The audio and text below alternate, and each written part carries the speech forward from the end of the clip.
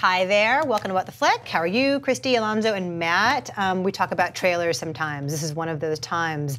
Um, it is a time where all the movies that are playing at Cannes and their trailers come out to whet your appetite for how awesome they're going to be or controversial or whatever. Starting with the latest from Spike Lee, BlacKkKlansman. The KKK is planning an attack. How do you propose to make this investigation? We'll establish contact over the phone. We'll need a white officer to play me when they meet face to face. You for the white race, Ron? Oh, hell yeah. So there becomes a combined Ron Stallworth. Can you do that? With the right white man, we can do anything. When's the last time they let a rookie lead an investigation? Oh, that's right. Never. okay, become his friend. Let's get invited back. So what kind of stuff you guys do? Cross burnings, marches. This is fixing to be a big year for us. You ask too many questions. You undercover or something? We must unite and organize to fight racism. Are you down for the liberation of black people? Power to the people. All power to all the people. All power to all the people. That's right, sister.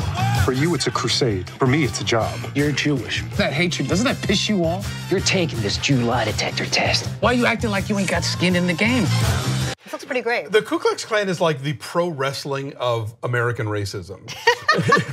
it's like the exaggerated cartoony version, so it's always kind of fun to. but it's real. it's totally real. That's true. Unlike pro wrestling. We wish it was merely exaggerated, cartoony version. Well, right? but I'm saying it's it's it's the it's the visible like Yeah. ludicrous Oh, right, version okay. of, of the sort of polite version that exists, you know, everywhere. Okay. Yes. Uh, and so it's just it's kind of fun to see that as a This part of movie the looks terrific. It does. This movie looks it's a fun terrific. trailer. Like, it's it's kind of a gimme for Spike Lee to do. It- I mean, what it weirdly reminds me of is the J.T. Leroy story. The woman who Oh, was yeah. writing uh, writing Yeah, yeah, yeah. Uh, fiction and in the guise of an abused 17 year old Ah. boy, Yeah. and so she had somebody else pretend to be JT for public appearances, Oh. but she would do all the phone work and do all the writing. Interesting. Yeah. So it looks very much in the vein of she's of not she's gonna have it of do the right thing. You know, in, in terms of it's very much addressing a pressing issue Sure. in our society. It's not trying to come up with the answers to it. It's just trying to have the conversation. It's trying to spark the conversation in a really provocative, really intelligent way. Um, sometimes when Spike Lee does this kind of serious racial satire, like Bamboozled, for example, it can be very heavy-handed. I kind of like Bamboozled. Did you? I Okay. do. I wasn't a big yeah. fan of it. But I know I'm, a, I'm in the minority on that one. I would take issue with the word satire. I, the cop, Colorado cop, Ron Stallworth, did this. Right. Like Right, this but was- Bamboozled's but you a can, you can, but you can yeah. tell the true story with a sort of satirical bent. with with an arch kind of tone. Yes. to right. it. I'm just saying. This, like, is, this seems like it's playful in some ways. Yes. may- uh, The, we'll the see. trailer's Trailer's selling it that playful, way, yes. for sure. Yeah. Um, yeah, and Adam Driver again working with like all the great directors in the world. Somebody listed like all the people he's worked with in the last couple of years. It's bananas. the Coens and Jim Jarmusch, Scorsese. and Steven Soderbergh, and yeah, He's anyways, our he's our new John Turturro. Adam Driver. You keep choosing Or Keanu beautifully. Reeves. Yes. Um, yeah, but I well, but I would say that Adam Driver is a much better. I'm you know, I- just look, saying, in terms of the people that he's he worked chooses with. well. He's he's versatile. Um, also coming out um, is a movie about Freddie Mercury, which has been kicking around for a little while. It's called Bohemian Rhapsody. Take a look.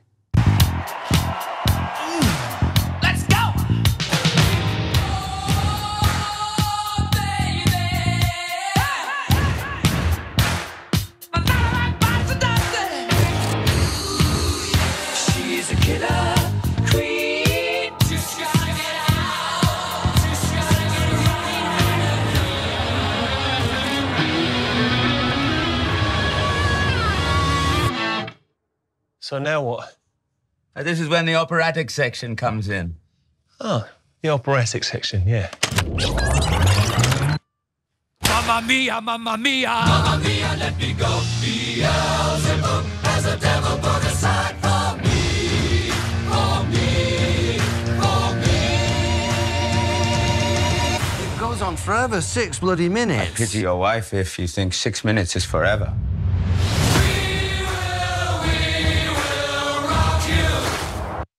I'm not sure about this hooked on classics version of all the Queen hits. Um, so, The Mega Mix. so I can't even 45. imagine. Mm. I can't even imagine at this point.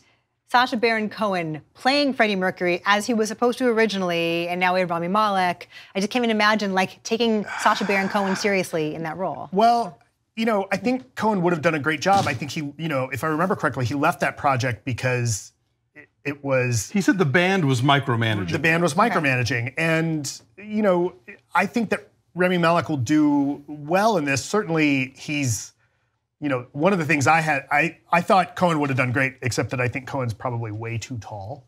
Um, whereas, you know, I don't think Freddie Mercury was the tallest guy in that band. Um, I'm a little concerned with Rami Malek in here. Like, he doesn't exactly sound like Freddie Mercury, who sounded like a little bit higher pitched in a lot of his, at least later interviews, and a more pronounced lisp. That being said, I am convinced that Rami Malek and Bruno Mars are actually the same person. and so I'm fairly confident that since Remy Mars will be able to sing the way he needs to sing. My only Yeah. concern is that I think they're they're they, uh, you know granted this is a teaser we don't know anything yet but they've already been saying well we're not going to talk about AIDS and this already also seems like we're not going to talk about Freddie Mercury being gay then it's like why are you making a Freddie Mercury movie I was say, how do you even like address this person's life and the impact he had without talking about all of that? and, and so if, if that's the kind of micromanaging that Sacha Baron Cohen was talking about then I'm going to be really annoyed when this, This would be as if you were going to make a Jimi Hendrix movie and not secure the rights to any of his music. for instance Which happened, yes that was the actually. movie I That's what- stopped Oh, watching a friend of mine produced that movie. So, okay. sorry. So I know. So we have um, finally a movie that is also about music. It is the latest insanity from Gaspar Noé. It's called Climax. Take a look.